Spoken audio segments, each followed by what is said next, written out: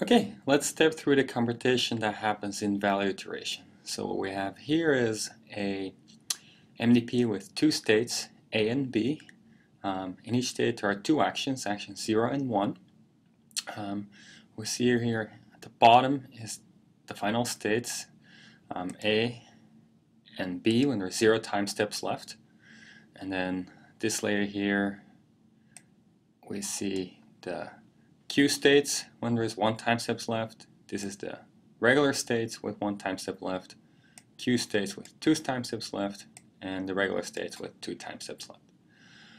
So let's start filling this in. So with zero time steps left being in state A, we get a value of zero. With zero time steps left, state B, we get a value of zero. And to compute the value over here, this is being in state A, having uh, taken action 0, and there being one time step left. So in state A, taking action 0, we get a with 50% chance a transition to state A and a reward of 2.0. So we have 0.5 times 2.0. And there's no discounting here, so plus gamma, which is 1, times the value at the next state, which is A, and the value at that state is 0. And then we have a 0.5 probability of going to state B.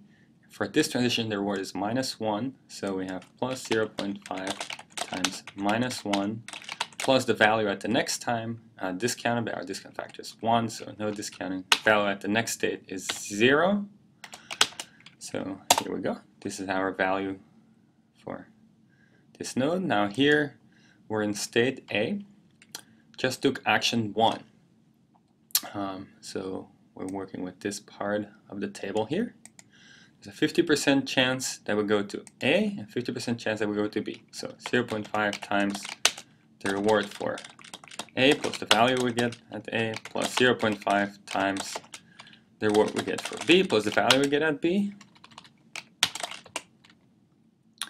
So what are the rewards and the value here? So to go from A with action 1 into A, that's this row over here, we get a reward of 1.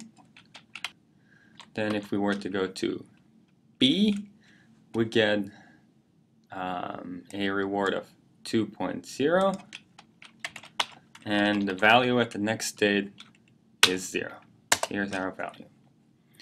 Then here we have, um, we're in state B, we just took action 0, so we are in this section of the table here. There is 0 probability that we transition to state A and probability 1 we transition to state B with a reward of minus 1. So we have 0 times minus 2.0 plus the value at the next time is 0 plus 1.0 times reward of minus 1 plus 0 at the next time. That's our value here. Here we're in this part of the table, we're in state B, took action 1, we have a 10% chance of going to A, 90% chance of going to B. So we have 0.1 times, and then when we go to A, we get minus 3.0 instantaneous reward, 0 at the next time. When we go to B, which is probability 0.9, we get a reward of minus, instantaneous reward of minus 1.0 plus 0 value at B, and this is our value here. All right. Now take it one level up. Here we're in state A, there's one time step left. We have two actions to choose from, 0 and 1. And since we maximize the expected sum of rewards, we'll take the action that leads to the highest expected sum of rewards. So that's action 1 in this case, which leads us to expected reward of 1.5. Here in state B, we get to choose from two actions. Pick one with the highest expected sum of rewards, which is action 0, which gives us a value of minus 1.0. Here we go. Okay, now we're again one level up in the value iteration process here. Here we are in state A. We took action 0 and we are now um, in this part of the table. So there's a 50% chance of going to A, 50% chance of going to B. So we have 0, 0 0.5 times the reward for going to A is 2.0. Plus, if we go to A, we will get future rewards an expectation of 1.5, so plus 1.5. And then there's a 50% chance of going to B, in which case we get an instantaneous reward of minus 1.0 and a future expected reward of also minus 1.0. That's our value here. Here we're in the Q state where we are in state A and have taken action 1. So we are in this part of the table. 50% um, chance we go to A, for which we get an instantaneous reward of 1.0 and a future expected sum of rewards of 1.5. And a 50% chance we go to B, for which we get an instantaneous reward of 2.0 and a future expected sum of rewards of minus 1.0. That's our value here. Here we're in the Q state where we are in state B and have taken action 0. So we have to look at this part of the table here. There is a 0% chance we transition to state A. Um, so let's just leave that part out. Then there's a 1 100% chance to go to state B, in which case we get a minus 1.0 instantaneous reward plus a minus 1.0 expected future sum of rewards. So that's this value, and then here's the last one in this level. We're in state B and took action 1. So it's this part of the table.